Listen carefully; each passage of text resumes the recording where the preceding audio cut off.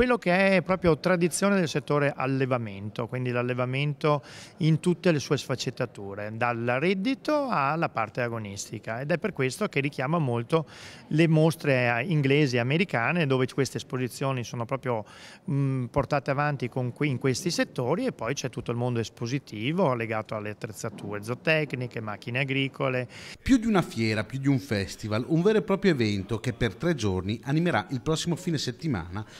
l'ippodromo delle Padovanelle di Padova un festival sul modello anglosassone con animali in esposizione, gare di bellezza e di agilità. Più di 300 i capi in esposizione. Il 7 e 8 sarà presente anche il Festival delle DOP Venete. Qui c'è la presenza di tanto, tanti animali, tanto bestiame che richiami soprattutto la gente della città, i bambini, i ragazzi che vogliono vedere animali che non si vedono mai, che fanno gare di esposizione, di valutazione morfologica, cioè di bellezza, eh, gente dietro al mondo allevatoriale che passa la vita a allevare perché siano sempre più belli, più produttivi, eccetera, eccetera, portano i propri prodotti che sono nel mondo zootecnico oppure nel mondo agonistico, ad esempio nel settore del cavallo.